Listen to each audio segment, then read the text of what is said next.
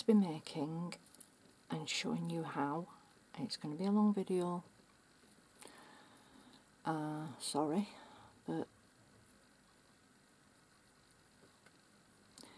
dip pens, homemade dip pens, they work really good for a lot of different things. Sketching with, brilliant. okay, sorry about that. I've tried to, sorry about my chair squeaking as well, I've tried to record this a few times. Uh, recorded it setting fast forward. Not good. That was the last time. Right, you need a twig, which is what these are, off a tree, plant, bush that grows very quickly within its growing season. One that gardeners usually chop back at the end of the season and then they grow like crazy because usually that kind of bush, tree, whatever, has a hollow centre. It has something called pith inside it, which is like a spongy um, sugar puff, like what's inside of popcorn type of material inside, down inside. This one is um, willow, um, a weaving willow. If you know anybody who weaves willow, they usually get rid of pieces like this because they're too thick at this end, even after soaking. They're too thick to weave. So if it's too small to use as one of the uprights for the other weaving to go around and they've got enough gap savers because you put these in as gap savers for when you're locking something in afterwards. But anyway um, they usually throw pieces like this away and you know and it has the emptyish centre. These do have quite a thick wall around them. Excuse me. Right so basically what you really need to remember which I didn't make in a couple of those is put it in your hand make it straight at the bottom so it's approximately where the end will be because that does have a difference believe me. If you measure it here and then chop it up here it could be way different by the time you're holding it because your hand's moving further back. So hold it where you think you're going to be holding it and pretend to write with it it will find its natural position which is best for your hand to hold it it doesn't matter which way up you like it looking. And then you need to put a line so you know that that's facing upwards. Then roll it around in your hand, shut your eyes, turn your head away, whatever. Just get hold of it. Pretend you're writing with it make sure it feels right. It's going to feel a bit rocky because you've got it on a, a round rather than a... But it's this bit that you're concentrating on and yes I have got my head turned away. Right, so there again, that line is still at the top. So my best guess is that this is going to be a good place to have the top. So, this is your twig. what we're going to be doing is cutting it at an angle and getting rid of this bit. And this is where the pith in the centre is. So what we have what we're after is looking at it from this direction. It will then look like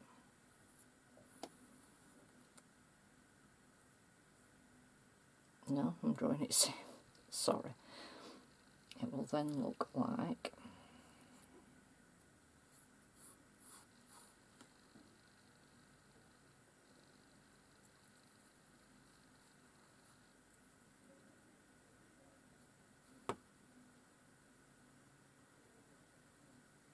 that and that is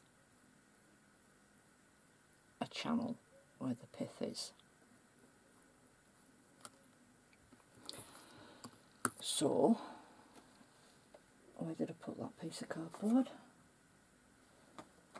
Oh no, where's my cardboard gone?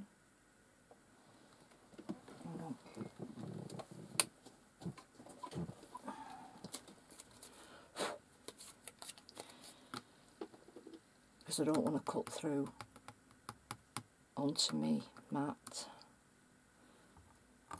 And what I use, and I use a lot, I use it for a lot of things. Blu-Tack, blue tack it down so it's not going to move and use it as a prop itself. Right, that line I'm going to draw further back and make sure that I've definitely got a line because the um, in fact you could put a little mark there because Blu-Tack will take it's like an er eraser it will take your line away. So you need to put it down. See see the line on the Blu-Tack that's come off there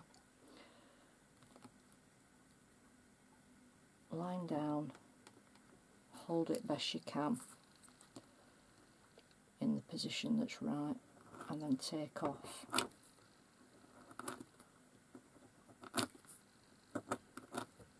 Cutting away from you and with the grain, don't cut towards the grain.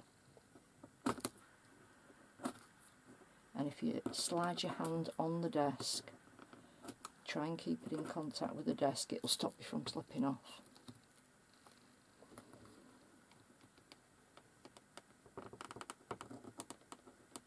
use your wrist movements like this rather than your arm movements then if you slip you can only go as far as your hand can go rather than the entire arm.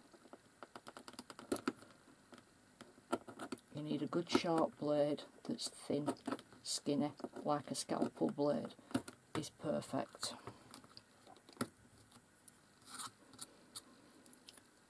making sure that I'm taking it off level with this line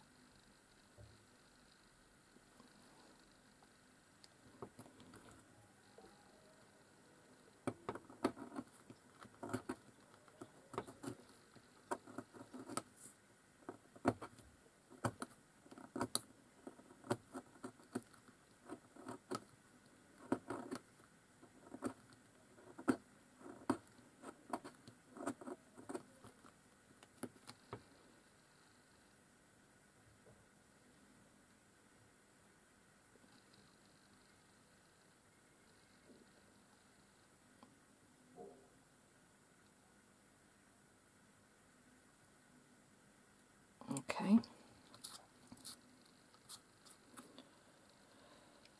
Right.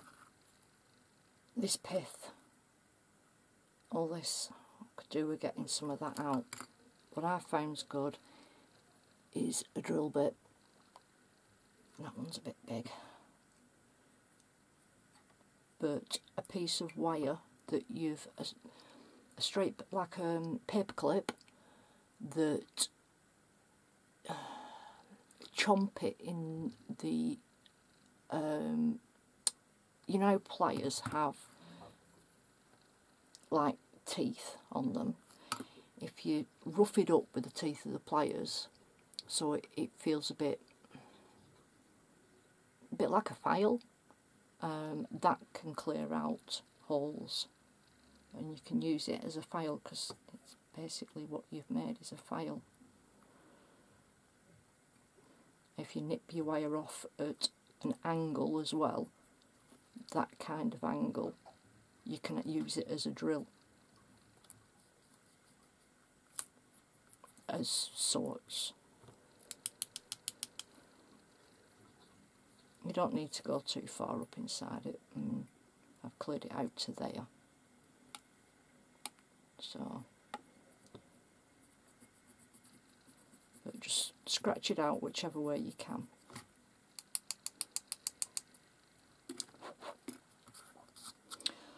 Okay. Right, you need to decide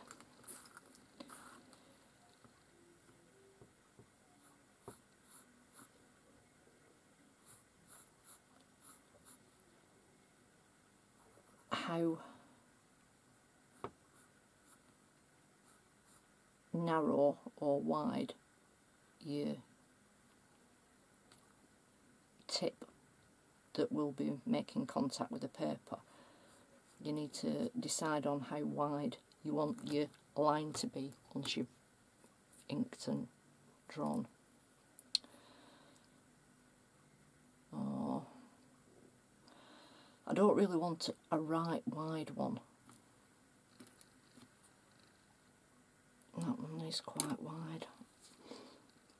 Um,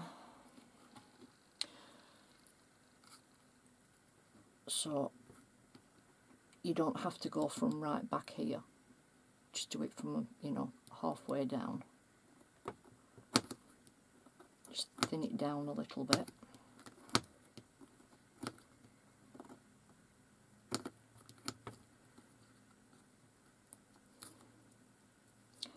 And then I'm doing this bit here. I'll do it exaggerated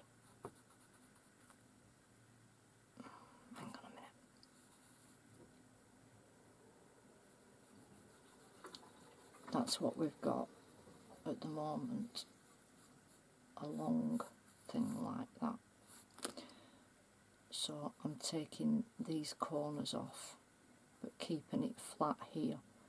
Just taking these corners off a little bit to how wide I want that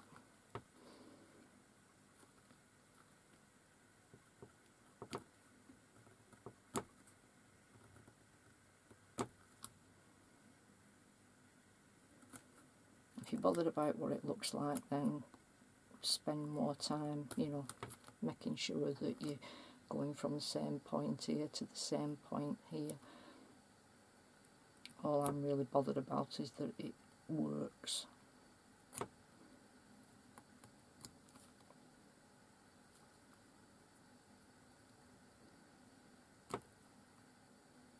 And you'll notice that the more you cut these corners away, the thicker this piece of wood is because it's arched. Right.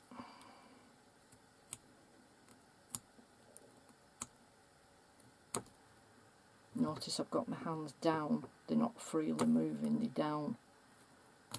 So the, the desk is stopping me from skidding.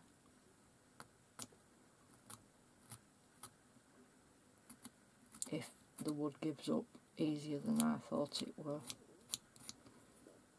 I won't. You understand what is. Okay, that'll do. Straighten that up a little. Again, my hands are locked down to the desk whilst cutting. My line's still at the top. Just make sure, don't look at it, put it in your hand and approach whatever, you know, pretend you're writing. Yep, still comfortable.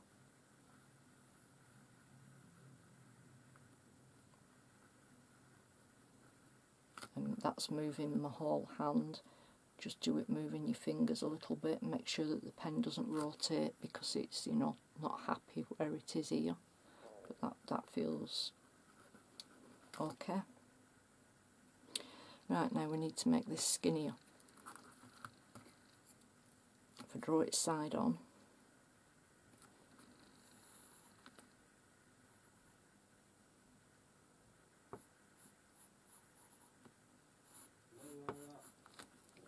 Just one second, so apparently Mick's finish washing up. um, this bit we need to skinny it down. And you need to have a good look at it whether you want to skinny it down from here or this side. Um, I like it to go over a little bit so I'll probably take a little bit off here just so it gives it a nice archish. So you you're over what you're doing. Um, if that makes any sense. And then take the rest of the thickness off here. But you've got you've got to thin it down for when you do the hole through and then the line going up you know the cuts going up. You're not actually cutting out any material from the line going up when you separate them. You're forcing this blade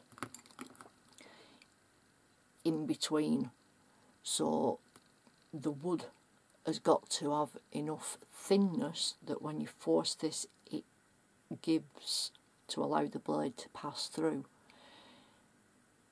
If there's not enough give in it you'll just end up crack and it might even fracture up past the hole because it's a wood and wood is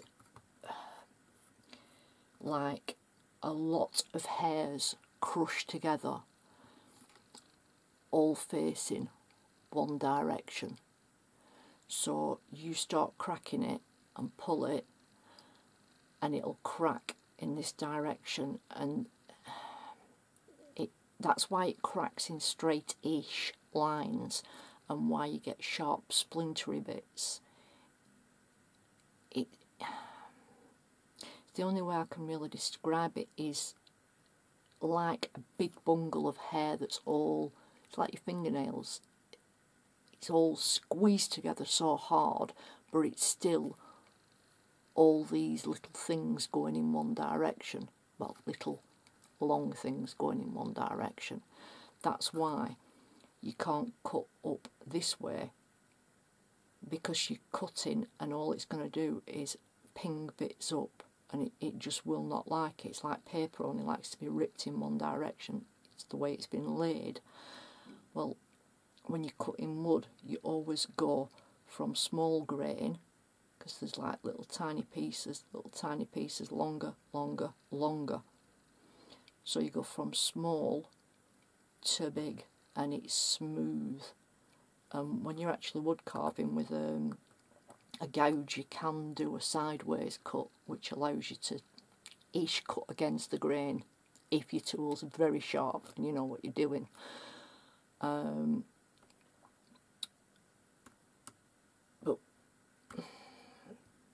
you really you, you need to go in the direction that it's happy with and when you're wood carving as well you can actually get it to sing to you it makes a weird whistling noise when you get it just right. It's brilliant.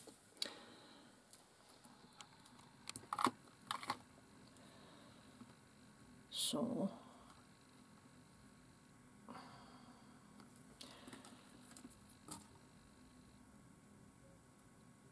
that's just a little thinner than that. I'm going to cut this bit a little bit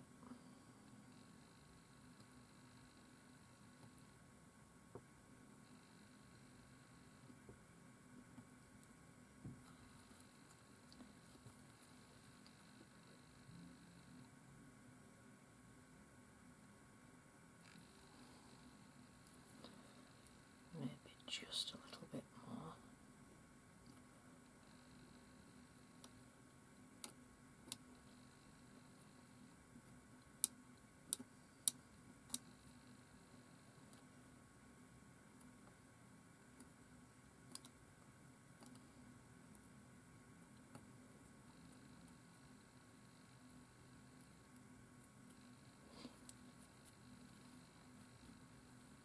Now take the rest off from underneath.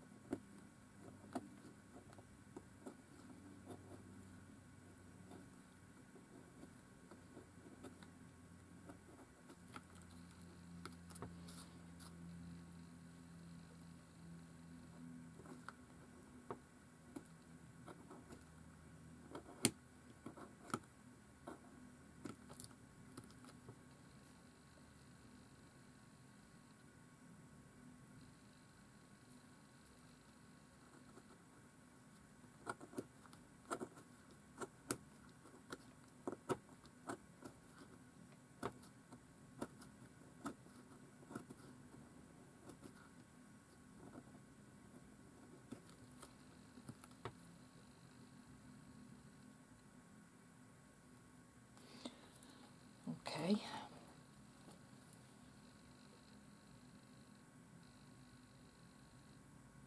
You'll find some woods are more bendable than others. Plus, when you use green wood, which is wood straight from the tree, it's usually a lot easier to carve and to shape.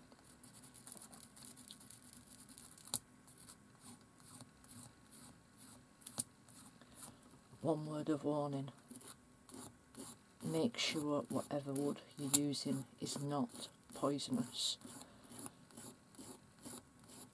I know that yew, yew trees, the wood from yew trees is not good.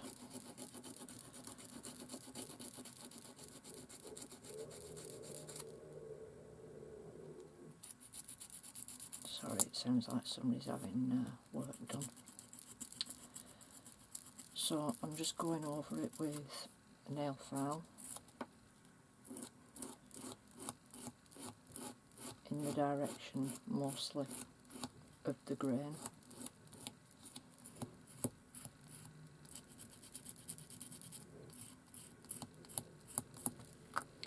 And if you want to polish it to um, a nice luster, either use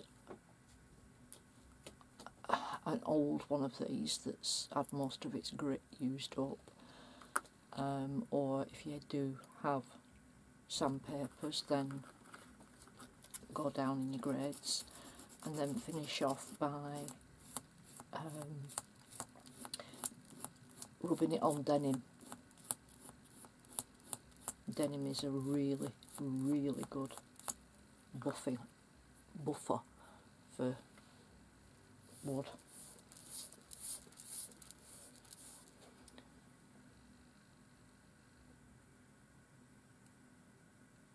I'm not sure if a bit more of the thickness needs to come off this. You need to make sure that the end has no splinters and that it's flat that way.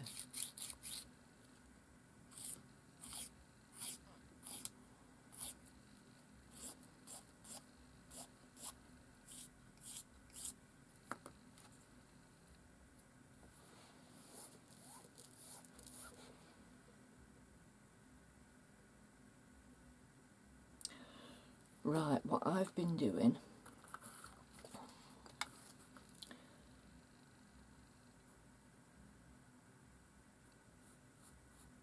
Is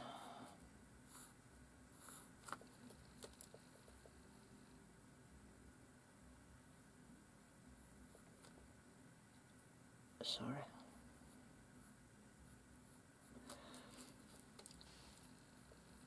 That's looking underneath it you drill a hole and that hole is a stop to stop this split from going any further.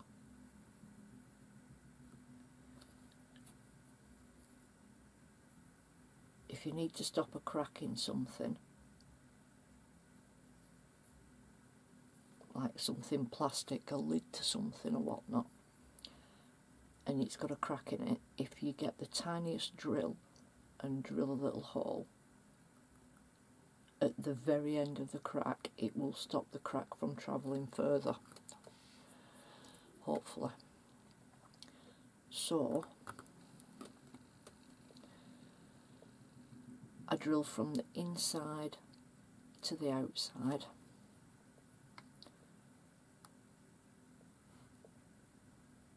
how far up do I want to go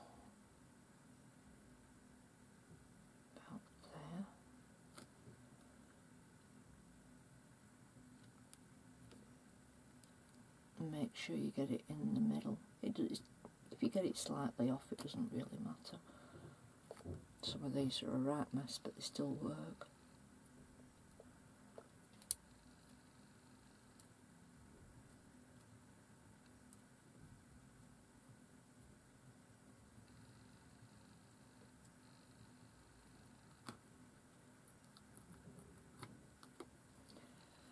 and and then what I do is when you've broke through to that side can you see the little bit sticking up? If you put your drill back in carefully.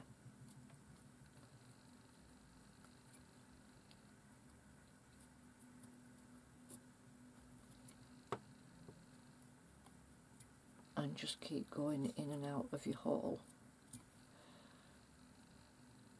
And push the splinters down to sort of cover the hole and then go back in with your drill.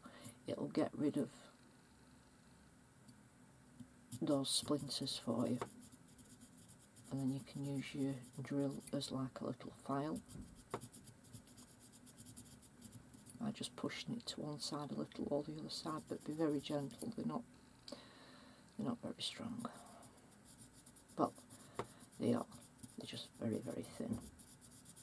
There's not a lot there to be strong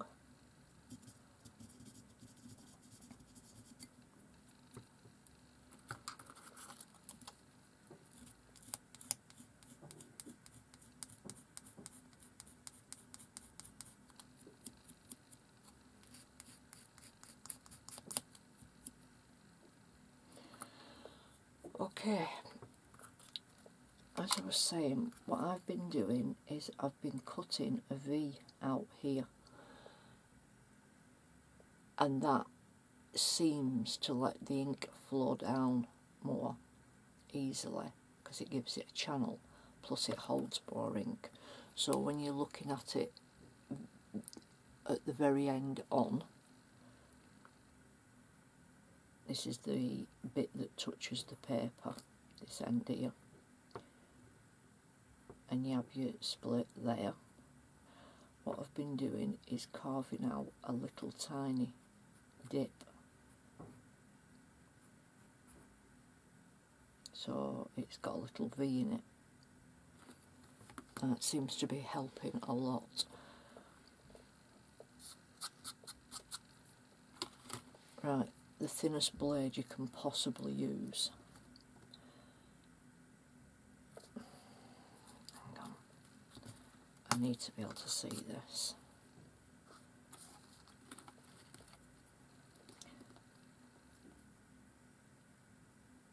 So I've been lining it, the point of the blade in the hole, sort of laying the blade down so it's at the centre of this bit. Pushing down gently whilst pulling towards myself and really you need to do this in one cut. There. It snaps rather than cuts it all the way but that hole stops you cut well you snap from going up any further let's make sure that that is all the way I think it is. Yep. There you go that's with a knife blade in.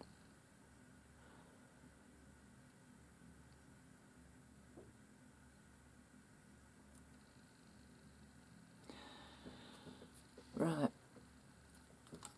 this is the tricky bit, is taking out a very fine slither up one side. See if I can lift that up without it going anywhere.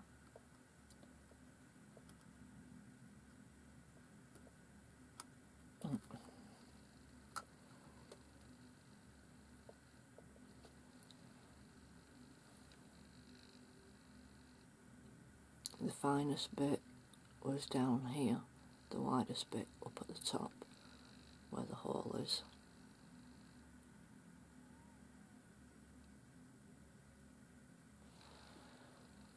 And then the same from the other side.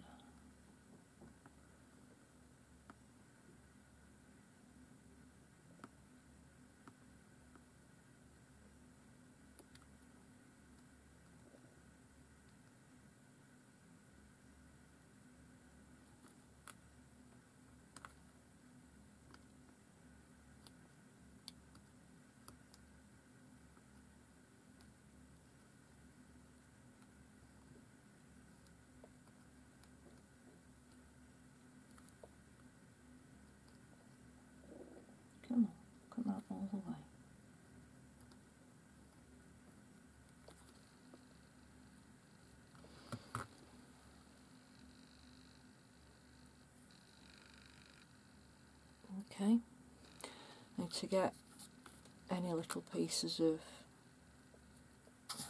fragments of wood out, you can use your Blu-Tack support underneath though.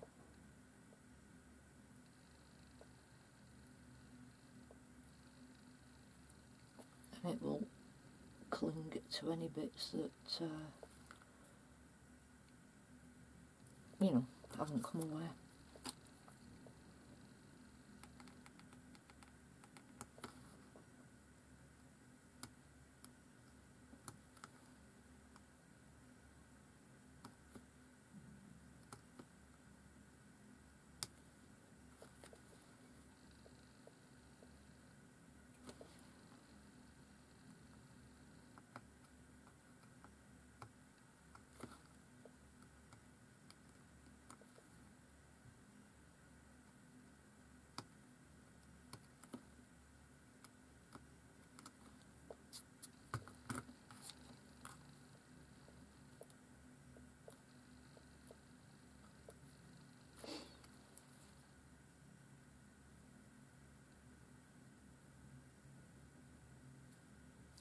Let's see how that writes. Right, this thing that oh, the thing that I've got mixed up.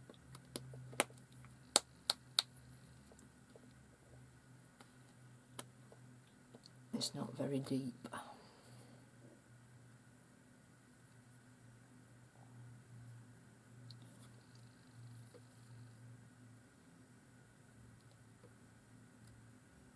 So you can see it's drawn itself up into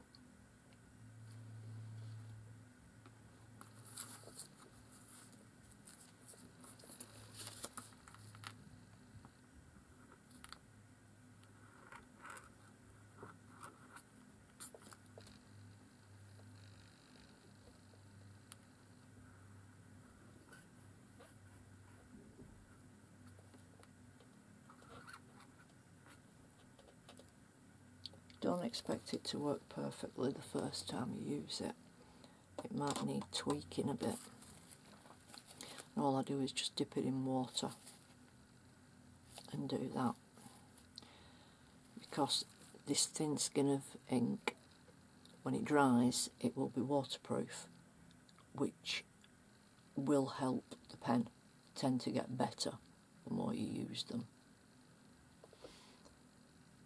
And plus wetting it um, will raise the grain so if there's any big chips that need taking off they will actually rise up while it's wet so you can see it a bit better.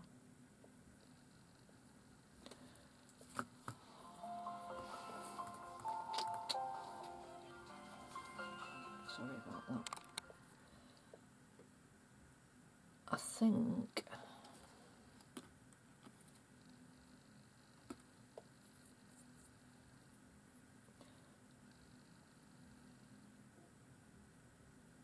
that that needs flattening down a bit more.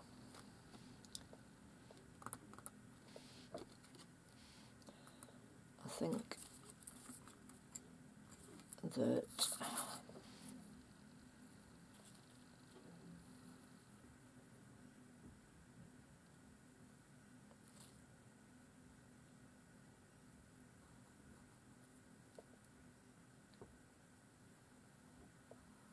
I've got an angle like that and I think it needs to be a little bit more like that rather than like that. It seems to be this bit that's touching the paper and I want it to be more of this bit touching the paper.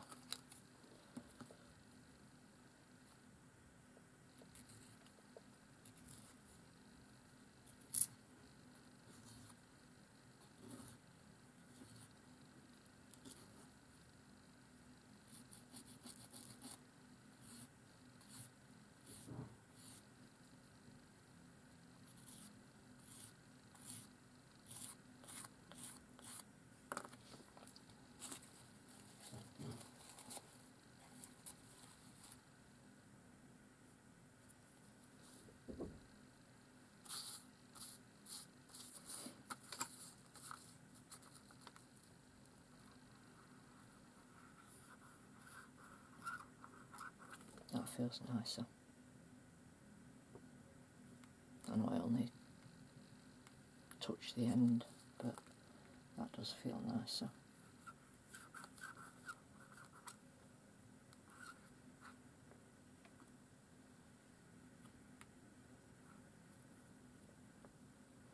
Mm.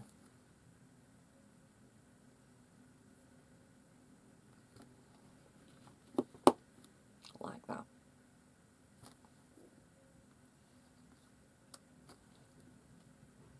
Right.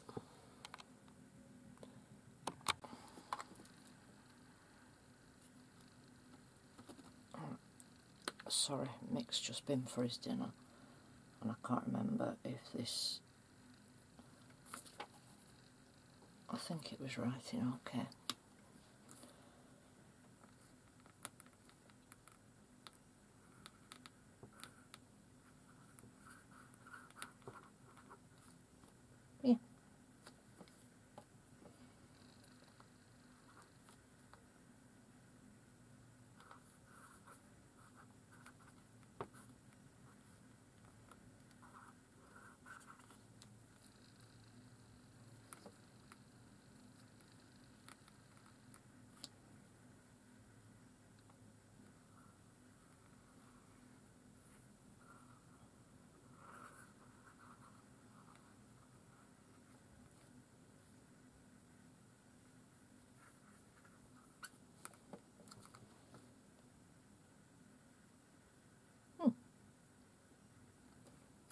Quite happy with that. So there you go. You can, from the tiniest that's really blooming hard work to keep hold of, because it's so thin, but I do have um,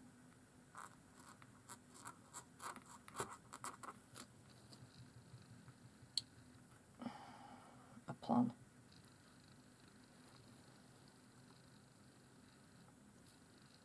That's better.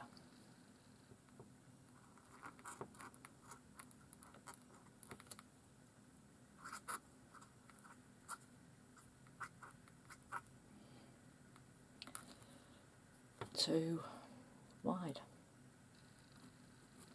and in betweens. I think was the one that I made yesterday and I didn't realise I was recording in fast forward.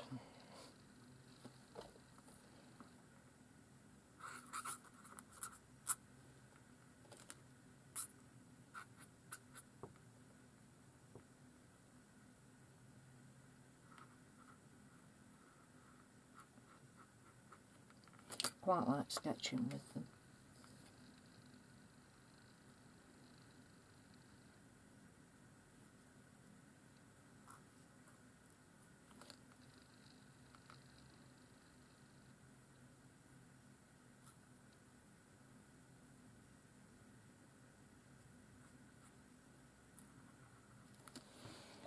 Messing about with them.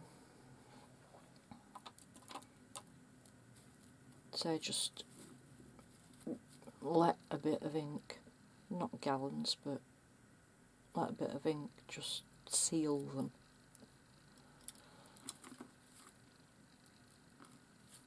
Oh, that one needs chopping down. it's ridiculously long. So, there you go. I've got plans to uh, thicken that one up a bit and have a play around with it. Hope you find it useful, hope you can follow it, hope you make one. Thank you. Bye.